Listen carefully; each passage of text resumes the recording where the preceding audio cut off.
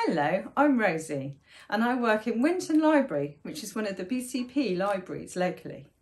Today I'm going to read you a story and it's called Look Out, It's a Dragon!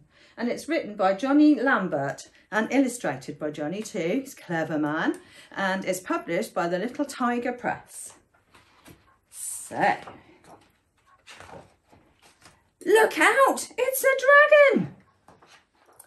Saffi wasn't like other dragons.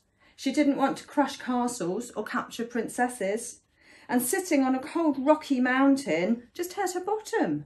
That's it, said Saffi. I'm off. She, she searched far and wide until she found a sunny woodland home.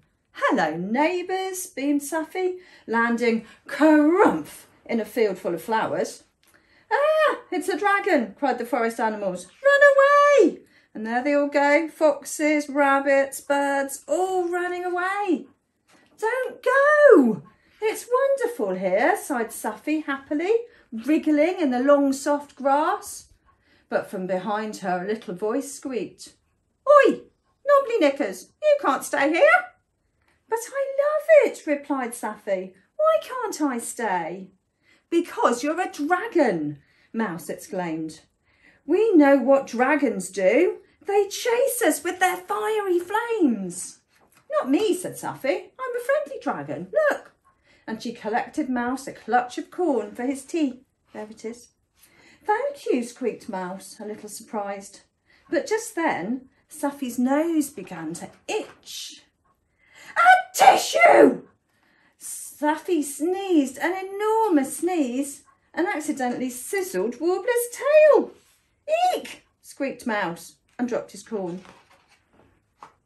Ah! cried Warbler. I've been scorched by a dragon and it's coming after me.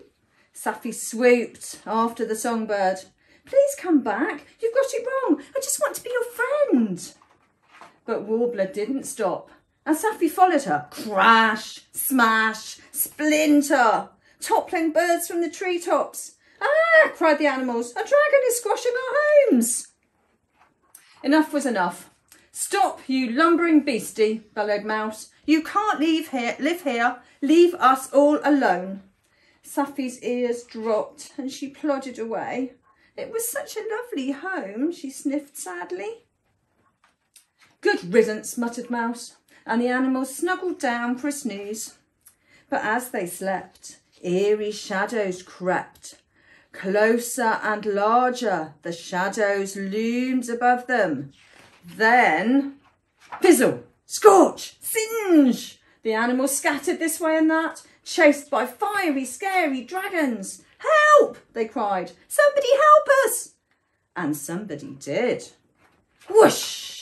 Nobody hurts my friends, cried Saffi, sweeping in and chasing all the dragons. Thank you, Saffi, the animals cheered. We're sorry we told you to leave. But the woodland was scorched and the trees no more. We can't stay here, said Mouse.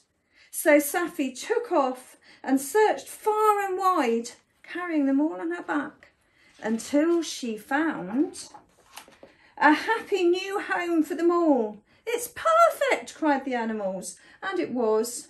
There was sunshine and flowers and space for everyone, even the biggest of friends.